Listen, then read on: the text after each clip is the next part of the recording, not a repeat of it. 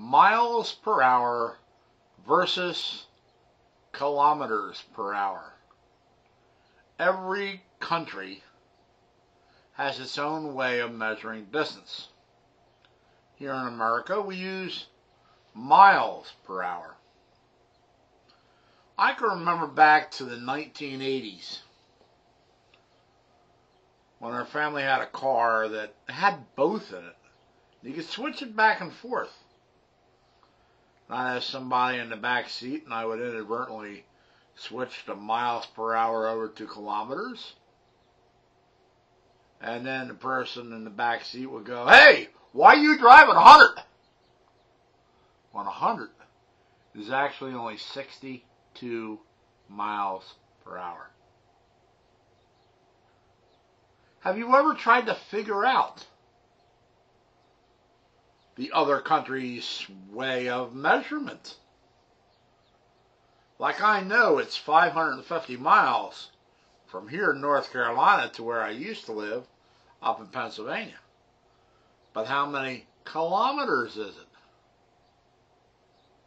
How many kilometers is it to the local store where I get coffee?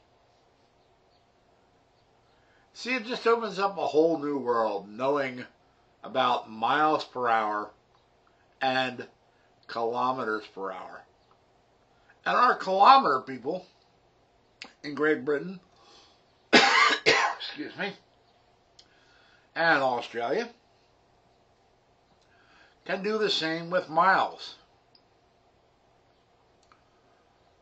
They look at a trip they're taking, and they're like, wow, this is only a thousand miles away. But you know, in their country, it's 1,600 kilometers. And that's a long, long way. huh. I think I got a Cheerio stuck in my throat. But anyhow, let's hear some of your miles versus kilometers per hour story. I wonder if a policeman would write a speeding citation